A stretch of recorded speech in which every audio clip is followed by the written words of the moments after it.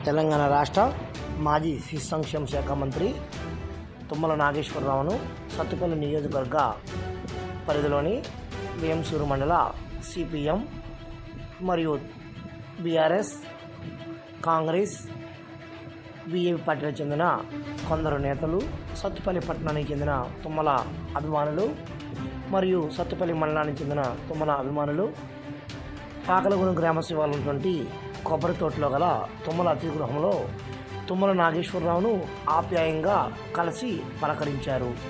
కొబ్బరి తోటలో జన సందోహంతో తుమ్మల వర్గీయులతో మరియు విపక్ష పార్టీలతో సందడిగా అగుపించిన పరిస్థితి ఉంది.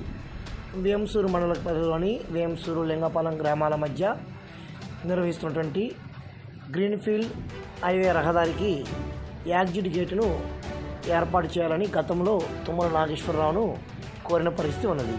అయితే దాని ఏర్పాటుకు తీవ్రమైన కృషి చేసి దానిని మంజూరు చేయించినందుకు తుమ్మల నాగేశ్వరరావుకు నేతలు శుభాకాంక్షలు తెలియజేశారు. నిర్మాణ పనులను వేగవంతంగా అయ్యేలా కూడా కృషి చేయాలని కోరారు. ఈ సందర్భంగా సిపిఎం హింసూరి మండల సీనియర్ నేత కొత్త సత్యనారాయణ మాట్లాడుతూ తుమ్మల నాడు నేడు నమ్మినటువంటి ప్రజల కోసం విశ్వాసంగా పనిచేస్తూ నిత్య కృషి వలడుగా పేరుగాంచిన పరిస్థితి ఉన్నదని అన్నారు. అనంతరం బీజేపీ సీనియర్ నేత దుక్కి అబ్బిరెడ్డి మాట్లాడుతూ గ్రీన్ఫీల్డ్ హైవే యాక్జిట్ గేట్ సాధనలో తుమ్మల నాగేశ్వరరావు చేసిన కృషి చాలా అభినందనీయమని ఆయన అన్నారు. వారందరికీ కూడా అభినందన తెలియజేస్తూ తుమ్మల నాగేశ్వరరావు ప్రసంగించారు.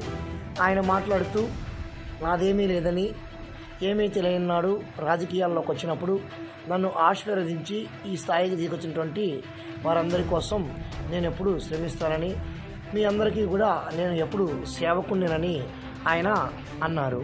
ఈ కార్యక్రమంలో సిపిఎం నేతలు మల్లూరు చంద్రశేఖర్ మారంపూడి వెంకటేశ్వరరావు బీజేపీ నేత దుక్కి అభిరెడ్డి మరియు కాంగ్రెస్ నేత కోకలకండి పుల్లారావు బీఆర్ఎస్ నేతలు రామిరెడ్డి మరియు ఫైజుద్దీన్ గురునాథరెడ్డి కొత్తూరు ప్రభాకర్ రావు తదితరులు పాల్గొన్న పరిస్థితి ఉంది.